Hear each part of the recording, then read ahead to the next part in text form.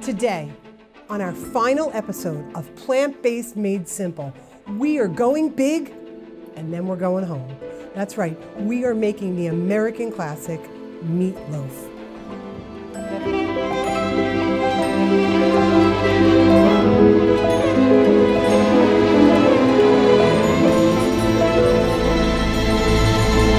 You've heard about her? She's been tasting my food for two seasons. I want to introduce to you the one, the only, my camera operator extraordinaire, Danique. She's going to take over the history segment today.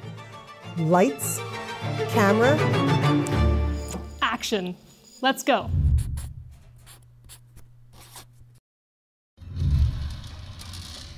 Meatloaf, a well known American dish, but whose idea was it anyway? Believe it or not, a loaf of minced meat was mentioned as far back as the 5th century in ancient Rome. Meatloaf, as we know it, is traditionally a European dish. It's a cousin to the Dutch meatball. That's where I'm from. And I definitely grew up eating a whole bunch of huge Dutch meatballs. The contemporary American version did not appear in cookbooks until the late 19th century.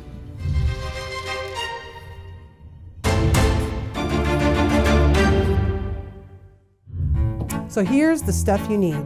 We're gonna start with a quarter cup of potato starch or potato flour. Now, if you don't have this and you have uh, instant mashed potatoes at home, you can use a quarter cup of instant mashed potatoes. You know the ones that come in the box or the bag? You can use those. One cup of walnuts, and you wanna chop these pretty fine. One pound, or like one package, of extra firm tofu we want two tablespoons of Bragg's liquid aminos. Now, Bragg's liquid aminos are actually like a soy sauce substitute. They kind of taste like soy sauce, but it's not fermented. Two tablespoons of extra virgin olive oil. This is going to give us the meaty fattiness that a meatloaf would have. One and a half cups of corn flakes. Now, corn flakes are naturally, corn is naturally gluten free but sometimes they have like barley malt in them. So what you want to do is try to find a cornflake if you're gluten-free that doesn't have the barley malt in it. But you can use any cornflake if you're not worried about the gluten. One small onion, chopped up, one teaspoon of Wright's liquid smoke. Now you can use any liquid smoke, you can find this in the grocery store. It's usually over by the barbecue sauce. The reason why I use Wright's rather than another brand is because I don't like to use vinegar because it's an irritant to our stomach, and Wright's doesn't have vinegar in it. And one teaspoon of beef-like seasoning. Now, beef-like seasoning is just a mix of herbs put together to give it like more of a beefy flavor. But if you don't have that, you can also use a chicken-style seasoning, which will still give it a nice flavor. Tofu. What is tofu? Well, believe it or not, Tofu was invented about 2,000 years ago in China. So how was tofu discovered? Apparently, a Chinese cook took soy milk and accidentally mixed it with some seaweed. And it curdled the milk, therefore we have tofu. Thank you, Chinese cook. So what are the benefits of soy or soya? It's nutrient dense and an excellent source of protein. It's a great source of vitamins and minerals, B vitamins, iron, zinc, and antioxidants. In fact, it has all nine essential amino acids. An essential amino acid is the amino acids that we have to take in from food. So we don't manufacture those in our body. We have to get them in a food source. Hence, soybeans, all the essential amino acids. So let's cook. First, we're going to preheat our oven to 350 degrees Fahrenheit. That's about 177 degrees Celsius. So in a large bowl, we're just going to mix all our ingredients together.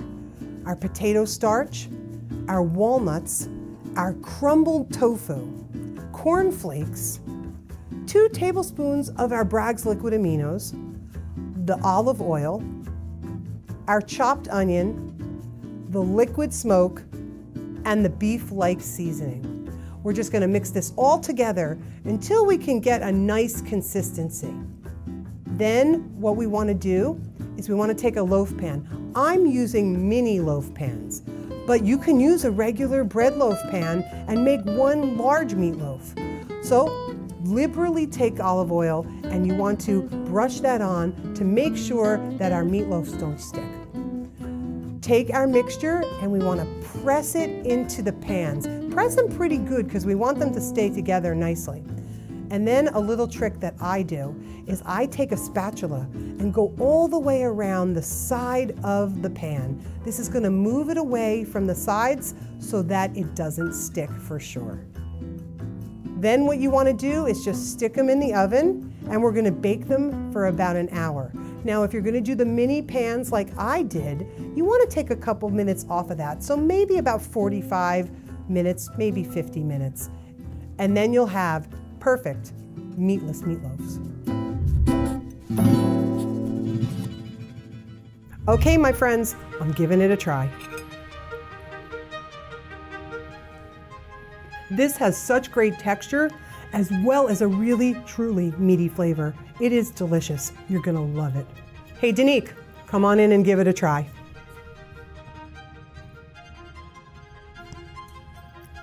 Oh, it gets a thumbs up. Thanks, Danique.